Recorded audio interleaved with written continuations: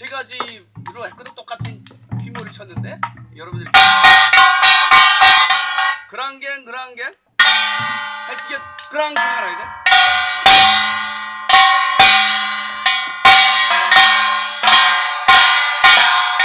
그랑 소리 나지? 부딪히면서. 그러려면 이렇게 잡아야지 이렇게. 여길 잡고 여기 펴줘야 돼. 그래야 이게 이렇게 펴줘야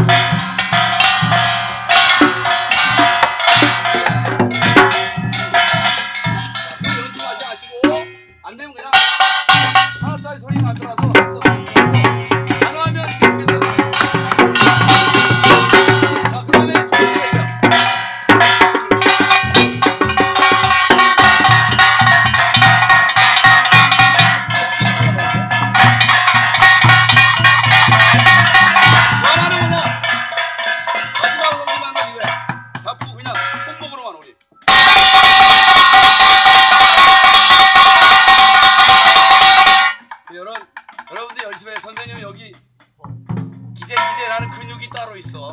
20년 20년 동안 쳐가지고 30년 동안 쳐가지고 여기는 없는데 여기에는 기재 기재하는 근육이 따로 있어요. 그래서 이제 되는 거야. 그래서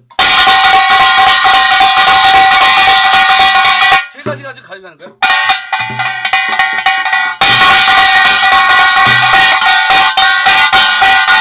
그 중에서 제일 쉬운 게 그랑갱 그랑갱이야. 여러분 그것부터 시작하시라고.